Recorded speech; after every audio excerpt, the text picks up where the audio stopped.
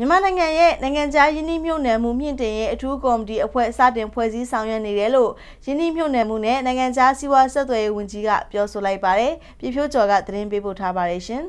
။နိုင်ငံတော်ဒုတိယသမ္မတတင်တဲ့ပြည်တွင်းစီးပွားရေးလုပ်ငန်းရှင်တွေလစဉ်တွေ့ဆုံတဲ့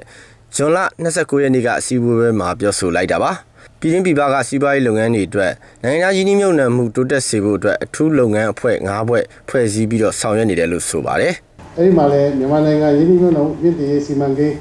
အကောင့်တွေပေါ်နိုင်ရေးအတွက်ရင်းနှီးမြှုပ်နှံမှုမြင့်တင်ရေးလွယ်ကူချုံးစေကော်မတီလုပ်ငန်းအဖွဲ့ task force ငါးခုကိုလည်းဖွဲ့ပြီးတော့ကျွန်တော်တို့ဆောင်ရွက်နေတာဖြစ်ပါတယ် ဒါပြင်ကုန်သည်စက်မှုအသင်းချုပ်ဥက္ကဋ္ဌကလည်းမြန်မာနိုင်ငံရဲ့ရင်းနှီးမြှုပ်နှံမှုပမာဏနည်းပါးနေတာကြောင့်ပြန်လည်ကောင်းမွန်အောင်ဆောင်ရွက်ဖို့လိုတယ်လို့ဆိုပါတယ်။မြန်မာပြည်ကိုလာရောက်ဆွေးနွေးနေတဲ့နိုင်ငံတကာလုပ်ငန်းရှင်တွေတဲကအမေရိကန်နဲ့ဂျပန်ကလုပ်ငန်းရှင်တွေကိုတည်တံ့ဖိတ်ကြားပြီးရင်းနှီးမြှုပ်နှံမှုဖိုရမ်တစ်ခုကျင်းပသွားမယ်လို့ပြောပါတယ်။ကျွန်တော်တို့လာပြီးဆွေးနွေးတာအဓိက US နဲ့ဂျပန်ကနှစ်ဖွဲ့လာဆွေးနွေးသူတို့မကြာမီမှာ August လမှာသူတို့ရဲ့ mini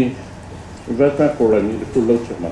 ချိန်မှနဲ့ပေါင်းပြီးတော့ဟုတ် ဝင်ကြီးစရာလည်းခွင့်ပြုချက်ရပြီပြောပါတယ်အဲ့ဒါကြောင့်ကျွန်တော်တို့ US Japan ဒီ